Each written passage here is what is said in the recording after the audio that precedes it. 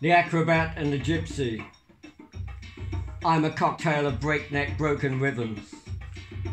I'm the chop and change in the diary you never keep. I'm the early morning carburettor that disturbs your sleep. I'm the madness you cannot control. I'm a gallstone bladder about to burst. I'm an acrobat in sound. I am everybody I meet.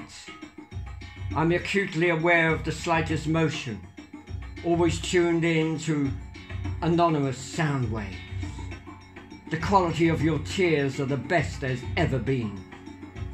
You are the hooded crow of voodoo ritual.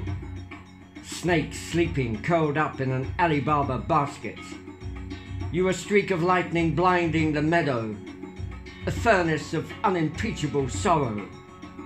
You are dreams I can never get close to. Oh, come on. You've been at your wedding. I've been at your wedding so you can attend my funeral. You are the dredge for all I hold dear. You are footprints in the snow of the damned. The mercy of your joy is all a man could wish for. You are sawdust guitars grinding away in a blood spattered butcher's.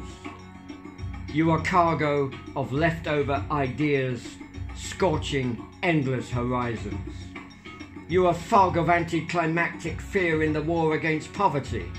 You are where I want to go on my staycation. You are one of the few superior UK service stations. You can serve me anytime, anywhere you like. You are surprise associations of forgotten words or phrases you are the mystery I've been attempting unsuccessfully to solve all these years. You are one breath bean feast too many. You are the song I can't bring myself to sing. You are the screams of yesterday cradled in the arms of tomorrow. You are the gypsy who stole my Claddagh ring. I blanch visibly when you don't phone me. I wait as you walk into the thunder of my hurricane you anoint the Venus of my penis with kisses untold. You wash the starlight with the sweetness of your gossamer hair, like the scant shudder of a wounded deer.